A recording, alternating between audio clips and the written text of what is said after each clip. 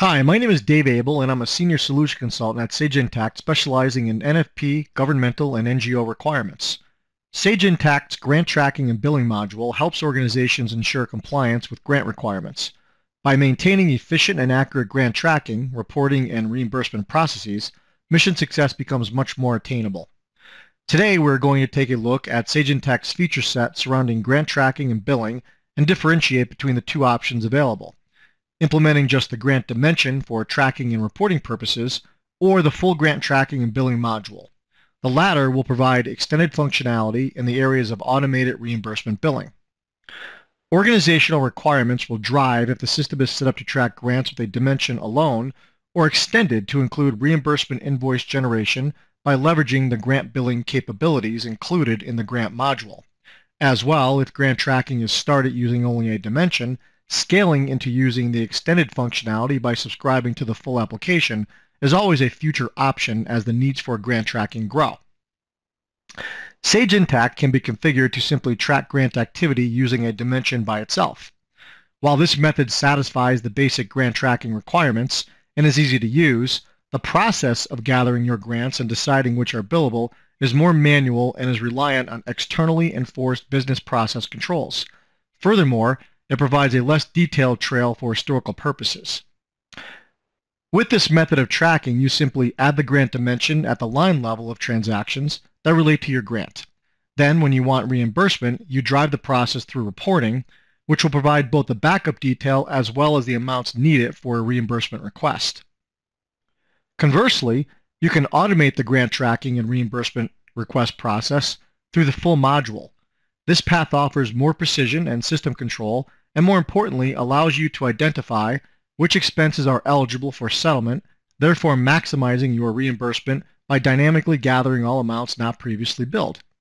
By establishing the grant dimension as billable through the selection of a billing type and using it on transactions, the Generate Invoice process will automate reimbursement billing to each grantor by dynamically gathering transactions that have been marked as billable but not yet invoiced. You can flag the following transactions as billable. AP bills, purchase orders, general ledger journal entries, employee expenses, and timesheet entries. Let's take a closer look at how all of this works inside of Sage Intacct. Okay, so here we are inside of Sage Intacct, and we're going to take a look at the differences between just using the grant dimension uh, or uh, the full grant module. So where we are right now is on a dashboard that I'm calling my Grant Manager dashboard, and it's showing us a variety of information uh, against a grant or several grants. Uh, we have several components here with different reports and performance cards, and as you can see here, we're showing our grant activity as rows on this particular report, and the way we were able to accommodate this was to code the transactions to an actual grant dimension.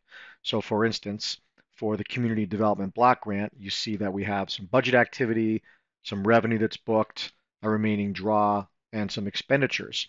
The expenditures were entered into the system through bills or journal entries by coding those transactions to the grant dimension.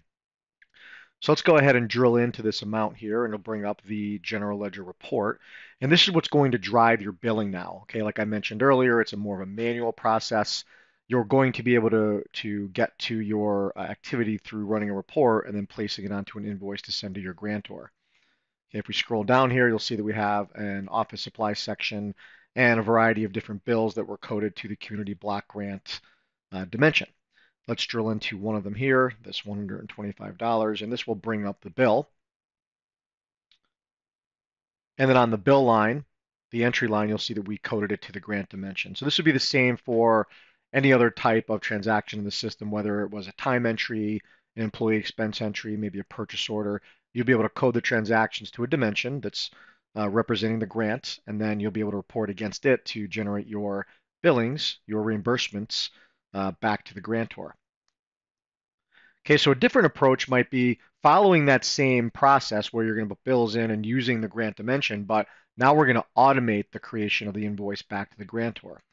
So let's take a look at a couple more transactions that I have in the system here. First of all, I have an AP bill that I've set up to Sam's Club. And then down here on the line, you'll see that I coded it to the grant community development block grant.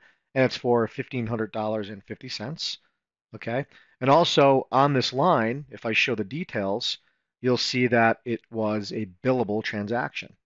Okay. Also, I have some time that I've put into the system here in, in a timesheet. And on the timesheet, I have coded it to, again, the block grant and also made this time billable. So through configuration, you'll be able to set up uh, that time will be coded against maybe a particular uh, billing rate, and then it'll accumulate all that time, multiply it against the billing rate, and come up with a billable dollar amount back to your grantor. The way that you're able to accommodate this is over here under Generate Invoices. So when you go to the grant module off the main menu and click on Generate Invoices, this uh, form will pop up. And what you're able to do is generate invoices in a variety of different ways. Uh, for today's example, we're just going to focus on one grant. However, you could run them all in unison. You can generate invoices all at once, um, and it'll queue them up for you. However, we're going to focus on just a grant. Notice also that you can generate invoices by funder, right? So maybe you have a funder that's uh, granting you uh, or giving you multiple grants, and you can uh, go ahead and invoice them by the funder instead of just the individual grants. So here I'm going to click on grant, and we're going to do a drop down and select that, that block grant that we've been coding transactions to. Okay, so at this point I can fiddle around with my invoice date, my posting date. I'm going to keep it at, uh, in fact, let me make this 1031. I'm going to generate an invoice at the end of October. And I'm going to uh, click on preview here, which is going to go fetch all of the transactions that are currently in the system as unbilled. Okay, now you'll see here that I have a form that pops up. It shows me all the time that was entered into the system. Okay, and also I have an invoice here, that $1,500.50. So at this point, I can toggle off those items that I do not want to bill at this point. and maybe I want to leave off the time that was put in for 11-1 and leave all the other October time in there.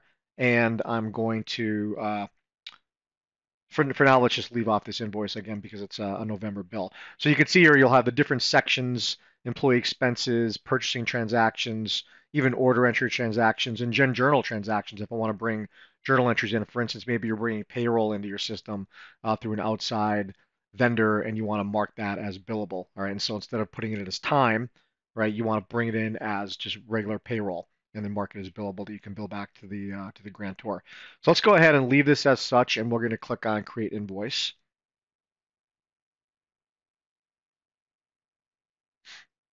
And as the system processes, uh, eventually it'll come up with a, a, message here that tells us that the invoice was generated uh, successfully.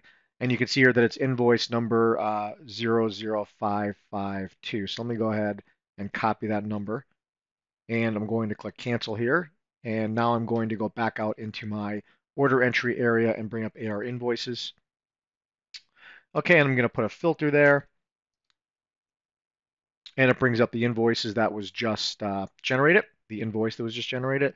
And by viewing that invoice, we'll be able to see the detail inside of it, which is all the time basically uh, that was multiplied by a price of $100. So for all that time that we booked to that community development block grant, for the California, uh, and this could be any funder you want to be, right? So it would basically send the California endowment this uh, this uh, invoice, and it would be uh, for seven thousand two hundred dollars.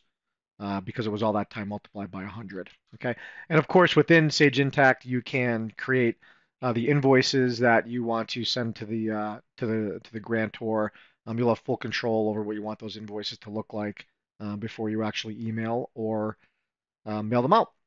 So I hope this was helpful in uh, making sense uh, about the differences between just conducting your grant activity, your grant tracking through just a grant dimension, and then bringing in the full grant module where you can, in addition to do your grant tracking, actually automate the process of creating your grantor invoices, your time and material reimbursable invoices.